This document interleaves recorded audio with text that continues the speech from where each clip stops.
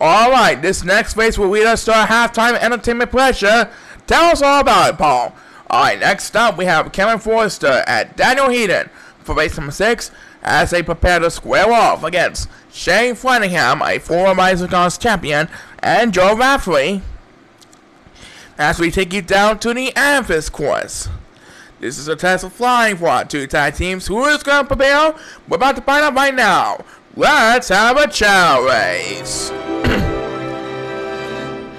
The next two teams are off and running, with Shane Flenningham currently leading, with battling with trying to hold off Kevin Forrester and Joe Raftery while battling for second place right behind him and uh, approaching the bridges. And it looks like Kevin Forrester and Joe Raftery are heading for the water. As Daniel Hean also heading for the water, takes the only toss, but he did fail to make the miracle statement.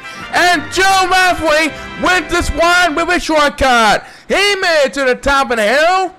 So he and Shane Flenningham get the victory here tonight as number 8 will get Speedwest number 2. He can dominate over the fourth child with fair plays. Shane Flenningham is going to be putting on a smile on his face today. he wins this today's race, and he's going to get the next command Speedwest.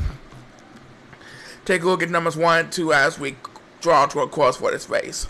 What a deal by John Raftery. Yep, you guys win it. We're coming back for the second half of our Week 12 Tag Team action. But right now, he feasts your eyes on this.